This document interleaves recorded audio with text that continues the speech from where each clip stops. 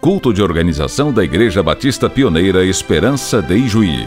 Na manhã do último domingo, dia 8 de outubro, os irmãos da Igreja Batista Pioneira Esperança de Ijuí estavam em festa. A antes chamada Congregação Batista Pioneira Esperança passou a se chamar Igreja Batista Pioneira Esperança de Ijuí.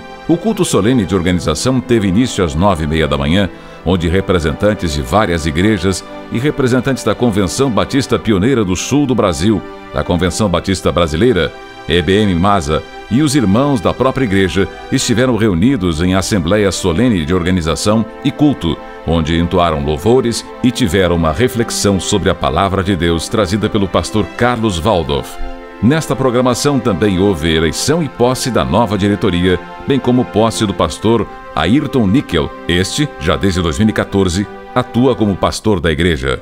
Cerca de 250 pessoas prestigiaram o evento, saboreando ao final da solenidade um delicioso almoço com churrasco. O pastor Ayrton afirmou que está à disposição e que as portas estão sempre abertas para as pessoas que querem ouvir da palavra de Deus. A igreja é situada na rua José Bonifácio, 1623C, no bairro Stork.